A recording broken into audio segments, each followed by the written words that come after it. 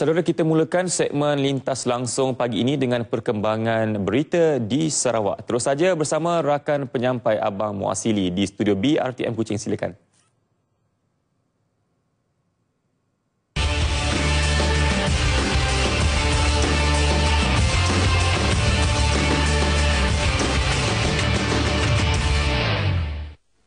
Assalamualaikum dan salam sehat sejiwa. Kerajaan negeri menyokong hasrat kerajaan persekutuan untuk menandatangani perjanjian perkongsian Trans-Pasifik TPPA yang akan dibentangkan pada persidangan khas Parlimen pada 26 hingga 28 hari bulan ini. Menurut Ketua Menteri Tan Sri Adnan Satim, polisi perdagangan secara terbuka seperti TPPA adalah penting bagi menjadikan Malaysia lebih berdaya saing dengan kuasa-kuasa ekonomi lain dalam dunia globalisasi kini. Katanya perundingan TPPA dilakukan berasaskan pelbagai negara dan ia memberi kuasa kepada kerajaan untuk memastikan pertumbuhan ekonomi yang seragam serta menjamin hak kepentingan negara. Beliau turut memaklumkan hak kepentingan bumi putera khususnya di Sarawak akan terus terjamin dan yakin pelaksanaan TPPA tidak membawa kesan terhadap harga tanah adat bumi putera NCR. Tan Sri Adnan memberitahu demikian selepas menghadiri taklimat khas Perjanjian Perkongsian Trans-Pasifik anjuran Kementerian Perdagangan Antarabangsa dan Industri MITI di Kuching. Taklimat disampaikan oleh Menteri Perdagangan Antarabangsa dan Industri, Datuk Seri Mustafa Mohamad dan turut dihadiri Menteri-Menteri Kabinet Negeri serta ahli-ahli Dewan Undangan Negeri Sarawak. Dalam perkembangan berkaitan, kerajaan negeri positif terhadap perjanjian perkongsian Trans-Pasifik TPPA yang dijangka akan menjadikan Malaysia lebih berdaya saing dalam ekonomi dunia globalisasi. Menurut Menteri Pembangunan Perindustrian Dato' Amar Awang Tengah Ali Hassan, Malaysia akan ketinggalan dari sudut pembangunan ekonomi berbanding dengan negara-negara di rantau Asia yang lain sekiranya tidak menandatangani perjanjian tersebut. Namun begitu, kerajaan perlu memastikan pelaksanaan TPPA tidak akan membawa kesan buruk terhadap kepentingan negeri. Ini termasuklah isu-isu yang melibatkan hak bumi putra dan pembangunan perusahaan kecil dan sederhana IKS, industri gas dan minyak selain perkayuan serta minyak sawit yang merupakan sumber ekonomi utama di negeri ini. Beliau berucap merasmikan taklimat TPPA anjuran METI yang berlangsung di Bandaraya Kuching. Kira-kira 800 peserta yang terdiri daripada pemain-pemain industri, badan-badan bukan kerajaan, NGO, agensi-agensi kerajaan dan penjawat awam menghadiri taklimat berkenaan. Kementerian Kerja Raya berkemungkinan akan mengalami potongan bajet sejumlah 3.5% bagi perbelanjaan operasi dalam pengubahsuaian bajet 2016 Bagaimanapun, Menterinya Datuk Seri Fadullah Yusof menegaskan perbelanjaan pembangunan tidak akan terjejas di bawah semakan semula bajet berkenaan. Walaupun dikurangkan, I will, uh, ianya tidak akan menjejaskan performance uh, Kementerian Kerja Raya khususnya. We will be committed to make sure that the services uh, to the rakyat akan uh, sentiasa ditingkatkan. Datuk Seri Fadilah berkata pada sidang media selepas merasmikan penutupan program inovasi sosial MOSTI, latihan peningkatan dan kecekapan keselamatan siber dan maklumat di Bandaraya Kuching. Beliau menambah kerajaan akan mencari jalan untuk mengoptimumkan perbelanjaan operasi sedia ada selain mengamalkan penjimatan kos bagi kesejahteraan rakyat. Peruntukan asal perbelanjaan operasi berjumlah lebih 2 bilion ringgit dalam pembentangan bajet 2016 pada Oktober tahun lalu antara lain melibatkan penyelenggaraan jalan raya, infrastruktur dan bangunan.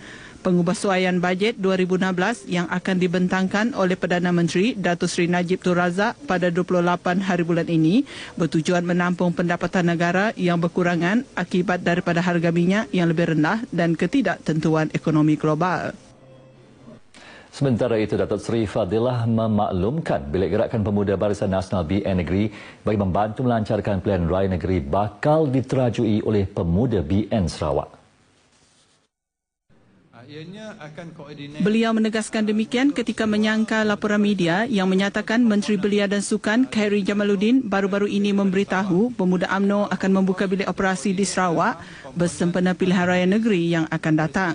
Kenyataan Khairi yang juga ketua pergerakan pemuda AMNO tersebut telah disalah etikan oleh sesetengah media. Ujar beliau, bilik operasi tersebut antaranya berfungsi menyelaraskan semua pergerakan pemuda BN dari Semenanjung dan Sabah yang membantu dalam kempen pilihan raya nanti. Berucap pada majlis penutupan program latihan peningkatan kecekapan keselamatan siber di Kuching, Datuk Seri Fadilah yang juga ahli Parlimen Petrajaya mengingatkan pengguna internet supaya lebih bertanggungjawab apabila melayari alam siber.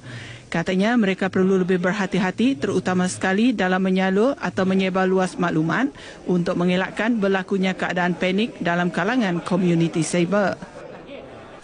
Susulan serangan pengganas di Jakarta, Indonesia pada Khamis lepas, tumpuan keselamatan di negara ini diperluaskan. Ia bukan hanya diadakan di pintu-pintu masuk utama dan bandar-bandar besar, sebaliknya turut meliputi usaha mengekang kemasukan dan penularan ideologi oleh pengas, pengganas Islamic State IS. Timbalan Menteri Dalam Negeri Masir Kujat menegaskan semua pihak perlu lebih peka dan waspada akan penularan pengaruh pengganas di negara ini. Kebimbangan beliau lebih kepada golongan belia dan pelajar yang dilihat lebih mudah terpengaruh dengan diayah IS terutama melalui media-media sosial. Memang saya mengharapkan ibu bapa, pelajar-pelajar, eh, guru-guru dan sebagainya akan sentiasa memantau anak mereka. Sebab ideologi ini kalau dilihat dari segi eh, kesenangannya masuk melalui eh, murid sekolah dan sebagainya amat senang. Jadi kita tak mau kalau ada tingkah laku yang berlainan apa tu karakter sikap dia ha? kalau ada belainan suruh tanya dan awasi anak-anak masing-masing. Beliau ditemui pada majlis perasmian Dewan Masyarakat Goa serentak dengan pelancaran jentera pilihan raya Barisan Nasional bagi kawasan Bukit Begunan di Sri Aman. Majlis disempurnakan oleh Menteri di Jabatan Perdana Menteri Datuk Joseph Entulu Belaun.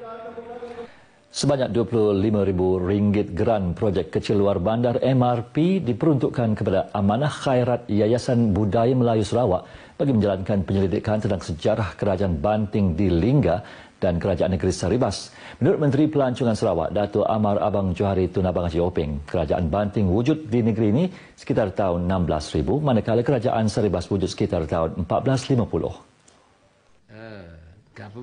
Jelasnya sejarah kerajaan Banting sebelum ini pernah ditulis oleh Robert Pringle dalam bukunya Rajah and Rebel The Iban of Sarawak under Brook Rule 1841 hingga 1941 manakala kerajaan negeri Saribas pula terdapat dalam manuskrip syair Tasilah Cerita Abang Godam dan Temenggung Kader Negeri Saribas. Dato' Amar Abang Johari mahu penyelidikan terperinci dijalankan tentang kedua-dua kerajaan itu untuk didokumentasikan bagi membolehkan generasi muda di negeri ini tahu sejarah asal-usul mereka sebelum pemerintahan Brook. And we want people to to do more uh, and that will become a reference uh, to future generation so that they know uh, what happened to this area before. Beliau memberitahu demikian pada majlis ringkas penyerahan Grant MRP di pejabatnya di Wisma Sultan Tengah Kuching. Dalam majlis sama, sebanyak RM40,000 turut disampaikan kepada Persatuan Warga Islam Saribas Pewaris. Penerima geran MRP lain ialah Persatuan Veteran Angkatan Tentera Malaysia ATM Cawangan Kuching dan Kelab Rekreasi RTM Kuching yang masing-masing menerima sebanyak RM30,000 dan RM10,000. Dalam perkembangan lain, Datuk Amar Abang Johari Tun Openg turut mencadangkan agar buaya-buaya di negeri ini diletakkan di pusat perlindungan hidupan liar selain dibunuh pada musim tertentu seperti yang dilaksanakan di Australia dan Amerika Syarikat. Ini berikutan jika populasi hidupan liar itu melebihi manusia, ia boleh menyebabkan konflik antara manusia dan reptilia tersebut. yang pertama kali ialah Jelas Datuk Amal Abang Johari ini dapat dilihat menerusi serangan buaya yang mengorbankan seorang remaja Razima Razali di Santubong pada Isnin lepas semasa sedang berenang bersama rakan-rakannya. Justru beliau bersetuju agar operasi memburu buaya dilaksanakan dengan segera jika ia boleh mengancam nyawa. Ini perlu bagi menjamin keselamatan penduduk serta pelancong yang berkunjung terutama di kawasan Santubong dan Damai. Datuk Amal Abang Johari berkata demikian ketika diminta mengulas mengenai serangan buaya di Santubong yang merupakan kawasan peranginan terkemuka di Sarawak. Dalam operasi memburu buaya di Santubong pada Khamis lepas, Pengarah Jabatan Hutan Sarawak, Sapuan Ahmad mendedahkan populasi buaya di negeri ini telah meningkat kepada 800 ekor di kawasan Ramsar yang juga berpotensi terlepas ke kawasan kediaman manusia. Projek penambahbaikan rumah oleh Jabatan Bomba dan Penyelamat JBPM Zon Miri di Tudan, Fasa 5 dan Niah di Miri bakal diserahkan kepada pemiliknya pada Isnin depan. Ketua Zon JBPM Zon 6 Miri, Lo Po Kiong berkata, dua projek di bawah inisiatif strategi Lautan Biru Kebangsaan NBOS ini telah dimulakan pada 6 Januari lalu yang membabitkan kos RM14,000 masing-masing. Bumbung zinc yang lama yang karat berlubang pun kita hari ini tukar. Yang tidak termasuk dalam spek tapi kita tengok ada kos lebih dan ada lebihan duit kita beli spendek dan kita tukar terus. Dan juga bilik tambahan yang di depan untuk bilik rehat dan juga bilik store. Kita buat juga bilik tambahan. Beliau ditemui semasa mengadakan lawatan projek bantuan membaik pulih rumah Pesara Negeri Sarawak di bawah inisiatif Satu Pesara di Tudan Fasa 5 Miri.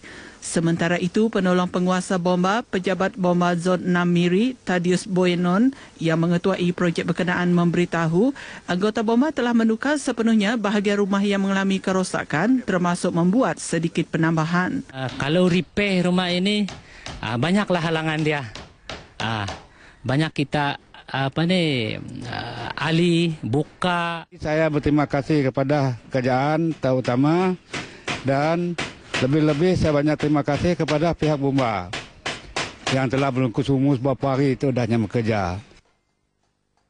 Lantikan rasmi jawatan Ketua Kampung daripada kerajaan dilihat amat signifikan dan penting terutama dalam kes membabitkan Mahkamah Adat. Menteri Muda Kemudahan Awam Datuk Sylvester Entri Muran berkata tanpa lantikan rasmi daripada kerajaan, Ketua Kampung akan berhadapan dengan masalah dalam mengenalikan kes-kes yang melibatkan pertikaian adat tradisi. Beliau berkata kepada pemberita selepas menyempurnakan Majlis Penyerahan sijil lanjutan perkhidmatan Ketua Kaum Daerah Beluru Bakung di Miri bercakap mengenai lanjutan perkhidmatan ketua kaum yang belum diluluskan, beliau memberitahu permohonan telah dikemukakan kepada kerajaan negeri untuk tindakan sewajarnya. Merayu kepada masyarakat yang belum dilanjutkan, tolong bersabar sebab ia memakan uh, melalui beberapa proses yang diperlukan supaya pelanjutan pelantikan mereka akan dapat dijalankan dengan sempurna dan dengan itu ianya adalah uh, satu pelantikan yang boleh di uh, apa ni boleh dibanggakan atau boleh disahkan oleh kerajaan. Seramai 33 orang ketua kampung menerima sijil lanjutan tempoh perkhidmatan ketua kaum daerah Beluru yang akan berkhidmat untuk tempoh selama 2 tahun. Sementara 15 orang ketua kampung dari daerah Beluru juga telah menerima surat pelantikan baharu yang disampaikan oleh Ketua Menteri Tan Sri Adenan Satem bersempena program Sejiwa Senada yang berlangsung di Miri baru-baru ini. Kejohanan Yoyo Malaysia 2016 kali ke-11 buat julung kalinya akan diadakan di Bandaraya Kuching pada 3 hingga 5 hari bulan Jun depan. Menurut Menteri Muda Pembangunan Belia Datuk Abdul Karim Rahman Hamzah, ia bagi mempromosikan sukan yoyo di negeri ini. Sebenarnya...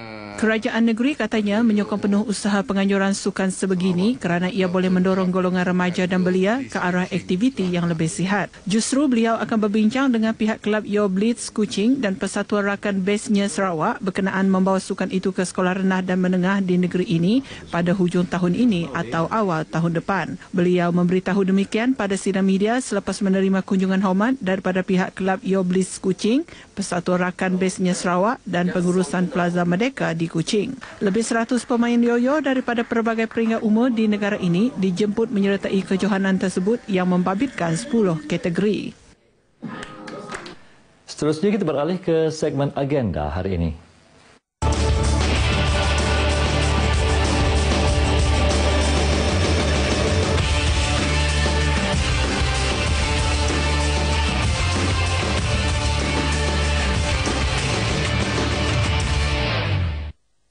Antara liputan acara dalam agenda hari ini. Ketua Menteri Tan Sri Adnan Sati menyempurnakan majlis perasmian program Sejiwa Senada bagian Sibu di dataran Bandar Sibu pada pukul 10.30 pagi. Sementara itu, Menteri Perusahaan, Perladangan dan Komoditi Datuk Amar Douglas Ugah Embas merasmikan Biro Wanita Udau Ulu Anyut di Rumah Judin Pako, Spau pada pukul 10.30 pagi. Manakala Menteri Perumahan dan Pelancongan Sarawak, Datuk Amar Abang Johari Tun Oping mempengurusikan mesyuarat jawatan kuasa tertinggi seberkas negeri ke-48 di Wisma Seberkas Kuching pada pukul 4 petang. Demikian antara liputan acara dalam agenda hari ini. Berita seterusnya kembali ke Angkasa Puri bersama Faris.